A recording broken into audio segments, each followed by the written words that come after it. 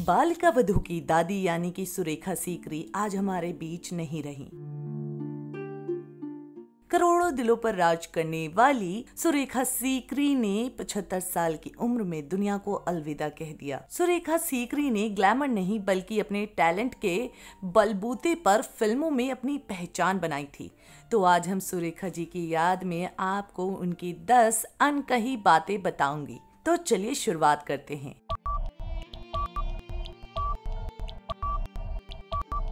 सुरेखा सीकरी ने national school of drama से 1971 में ग्रेजुएशन किया था। इसके बाद सुरेखा ने लगभग 10 साल तक एनएसडी रिपेटरी कंपनी के साथ जमकर थिएटर किया।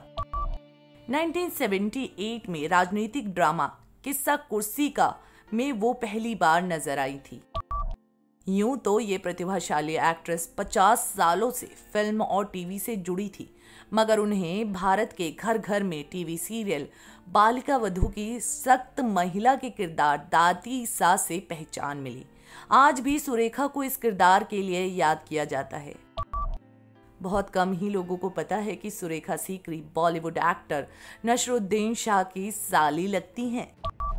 सुरेखा को फ़िल्म तमस, ममो और बधाई हो के लिए तीन बार नेशनल अवार्ड भी मिला था। सुरेखा न केवल नेशनल अवार्ड बल्कि संगीत के क्षेत्र में भी नामी अवार्ड जीत चुकी हैं। साल उन्नीस सौ नवासी में सुरेखा को संगीत नाटक एकेडमी अवार्ड से सम्मानित किया गया था। उन्हें आखिरी बार जोया अख्तर की घोस्ट स्टोरीज में सेगमेंट में देखा गया था, जिसका प्रीमियर नेटफ्लिक्स पर हुआ था। 2020 में सुरेखा सीकरी को दूसरी बार ब्रेन स्ट्रोक आया था। तभी से उनकी तबीयत खराब चल रही थी। 2018 में सुरेखा सीकरी को पैरालाइटिक स्ट्रोक आया था। नेशनल अवार्ड के अलावा सुरेखा ने एक फ़िल्म फेयर अवार्ड, एक स्क्रीन अवार्ड और छह टेलीविज़न एकेडमी अवार्ड जीते थे। सुरेखा ने हिंदी के अलावा मलयालम फ़िल्मों में भी काम किया है। इसी के साथ वो कई सारे पॉपुलर सीरियल में भी नज़र आ चुकी हैं।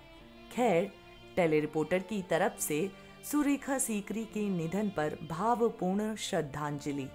टीवी की दुनिया की खबरों को जानने के लिए हमारे चैनल को सब्सक्राइब करना ना भूलें।